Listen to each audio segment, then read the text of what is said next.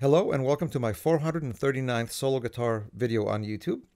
And as it was just the 50th anniversary of the White Album, the Beatles' White Album, and apparently they put out a 50th uh, anniversary edition of the album, I thought why not post another song from this album? But instead of posting the more obvious, prettier tunes, as it were, I guess, and in fact, which I've already done, I have on this channel, on my YouTube channel here, which you should check out right after you uh, enjoy this video.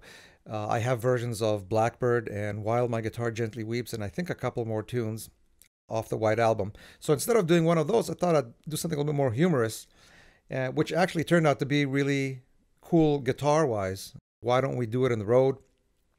One of those angry Paul McCartney songs from this period. And it it turned out to be pretty cool guitar wise because it incorporates all kinds of blues. You have some uh, basic uh, rock blues, uh, some bebop, all kinds of chord substitutions where versus just one four five type things. So I thought I'd make uh, make an arrangement of it, and I really hope you enjoy it. Enjoy it. And if you have any questions about this arrangement or anything else you want to ask me, uh, feel free to post those questions below. Here we are. Why don't we do it in the road?